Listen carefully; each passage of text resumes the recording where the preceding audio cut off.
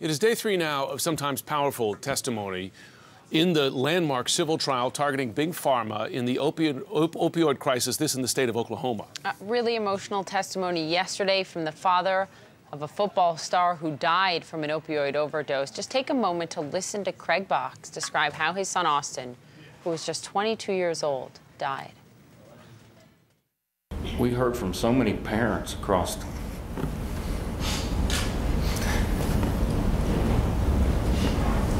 that have lost children in uh, similar circumstances, the same story as us, had no idea, had no clue about the prevalence of these drugs. Oh, Craig Box joins us now. I am so sorry. We are so sorry for your loss. We know that no words can can ease your pain, but there is a reason, sir, that you took that stand, and there's a reason you're here with us this morning. Tell us about your son uh, a young man who your wife calls a silent sufferer in this crisis. Well, thank you for having me. Yes. Um, well, first of all, about my son. Um, he was a special young man. Uh, he stated he was a tremendous athlete, but a better person, very kind person.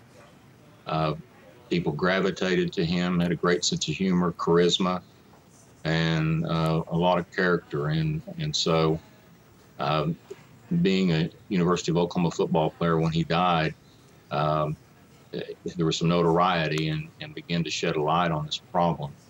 Mm. Mm. We're looking at pictures there now uh, of him, and you could see that energy in his eyes. Uh, as you stood there and testified in a case against the company Johnson & Johnson, I, I wonder what blame you place on the company uh, and companies, frankly, who, who, manufacture these drugs and the way that they marketed these drugs. What, what role do you believe that played in your son's addiction? Well, first of all, let me state I mean, my wife and I and the family never sought to blame anybody in particular. Uh, our, as a lot of people, we've learned a lot over the years. When my son died, this problem was not as well known or in the forefront as it has become in the last couple of years. And what we've learned is that uh, opioid companies um, realize the addictive, the science behind it, realize the addictive qualities of some of these opioids, and as well as the science of the human brain, and targeted uh, the public and by marketing to doctors and pushing it as a safe pain management pill without, in our opinion, necessarily disclosing all the hmm. potential addictive qualities of these drugs. They, the labeling says could be addictive, but it's much more insidious than that. It's mm. uh, what we've learned is that a, a, healthy percentage of the population can become addicted by taking these opioids uh, just by taking maybe five or six pills. And some of some of that is due to the strength of uh, the base ingredients of the opioids uh, mm-hmm. that are much stronger and became stronger over the years with the knowledge of the drug companies, including Johnson and Johnson, Janssen, and the others. Hmm. I know yesterday during your testimony in the cross-examination by Johnson & Johnson's attorney, they asked you, you know, sir, do you know if your son had any opioids from this company in his system? And you answered them, no, I didn't know. But there, but there, but you still wanted to be up there. What is what is the reason for your testimony, and what is your hope at the end of the day with this trial and so many that are set to come across the country? Well, the main reason is, as I've stated, is uh, is to put a face on um, that this affects everybody.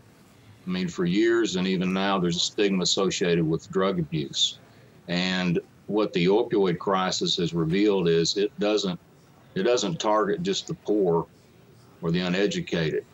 Um, it, it reaches across all classes, uh, occupations, and, and and it's clear if you look at statistics as well as how the number of deaths and the people who have died over the years that they didn't the pills and the drug companies do not discriminate who can take these and who they want mm-hmm. to take these and they've just mm-hmm. flooded our they flooded our nation for years with these pills yep Well, Yeah. Craig, listen, it's a story we take seriously on this program. I, I think both Poppy and I have come come to know people like you, met some folks who, who've had losses like you, and our hearts go out to you. But, but thank you so much for taking the time. We know that's no easy thing. Craig, thank, thank you very much. And, and I, I would just like to note that, uh, that you and your wife have started a foundation in Austin's name. It's called the Austin Box 12 Foundation. So for anyone who wants to know more, parents, listen up. This could be your child. No one is immune. Uh, they can go there and take a look. Craig, we're so sorry. Thanks for being with us. Thank you. Thank you for having me.